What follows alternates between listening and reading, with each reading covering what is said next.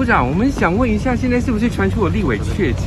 好，那立法院会讲，嘿，没问题。立法嘿嘿。那想问一下，有听说吗？早上有接到消息吗？对，我们早上朱委员早日康复。他现在是他现在是住在台大医院吗？哎，这我讲个人的哈医疗的讯息，好我们祝他早日康复。可以，因为立院是大家比较容易聚集的地方，例如像我们现在这样，大家就会有权利要知道现在的状况是如何。